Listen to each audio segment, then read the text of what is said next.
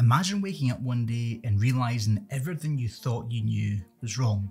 That's called a paradigm shift. Typically, I would use ducks to illustrate philosophical points, but today I'm going to use some Lego in the form of a Lego duck.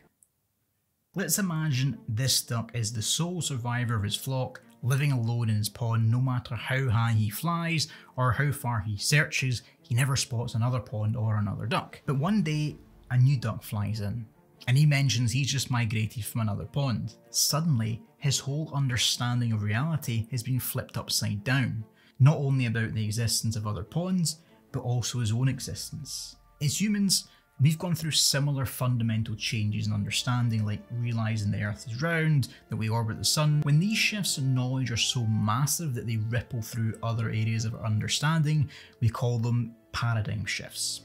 The philosopher and physicist Thomas Kuhn coined this term to explain how revolutionary changes in thinking reshape entire fields of knowledge.